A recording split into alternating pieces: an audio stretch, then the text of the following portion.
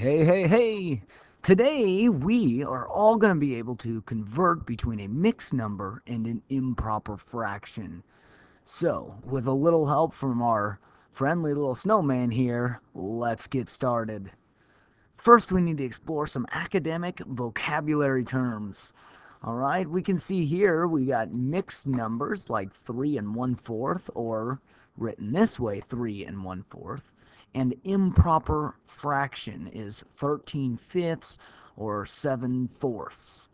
Um, if we look at the definition, a mixed number shows the sum of a whole number and a proper fraction.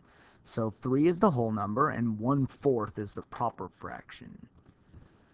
Now, for an improper fraction, it has a numerator that is greater than or equal to its denominator.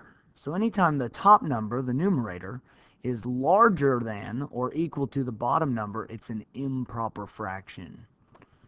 Okay, we're going to explore a little bit more about what this means here now. Here we have our mixed number, 3 and 1 fourth, and we can see that we have three whole circles and one fourth of this other circle. So that would be 1, 2, 3, and 1 fourth.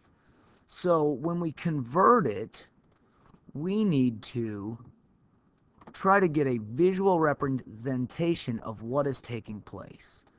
Well, if we made them all into fourths, then I would simply divide this shape into four equal parts, and then I would do the same thing to both of these shapes.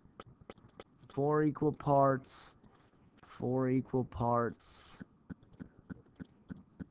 and now we can see that we actually have 1, 2, 3, 4, 5, 6, 7, 8, 9, 10, 11, 12, 13 fourths. So that's what we're doing. We're converting them all into fourths, and now we're making that numerator larger.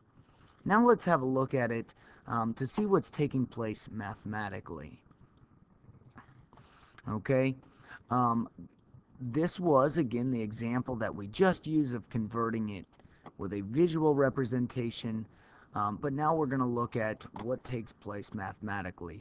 First of all, if we have three wholes, these are each a full circle. And the first thing that we need to do is take that whole number and multiply it by the denominator because each one will have four parts here. So we want to take that number times the denominator. 3 times 4 is 12. Now just kind of keep that number in your head. The next thing you want to do is add the numerator. So now we're going to move on to the next step. We had 3 times 4 is 12 plus 1 is 13. And the final step that we have here is to write the answer over that same denominator. And that's where we come up with then 13 fourths.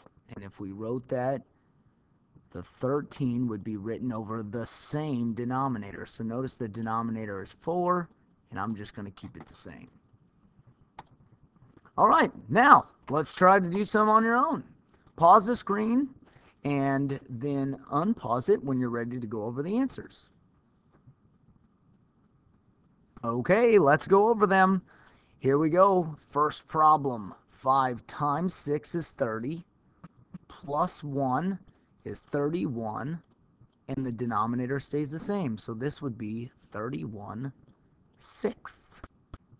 Next one, 9 times 8 is 72, plus 2 is 74 eighths.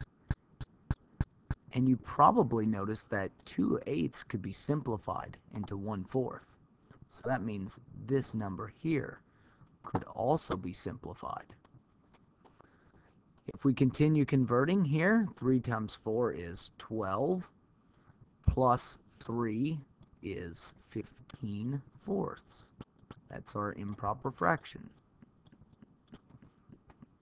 Here we have 2 times 5 is 10, plus 4 is 14 fifths.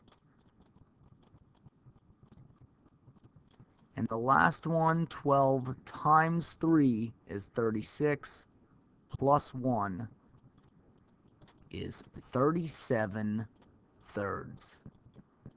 All right, well, I hope this helped you out with converting mixed numbers to improper fractions. See ya!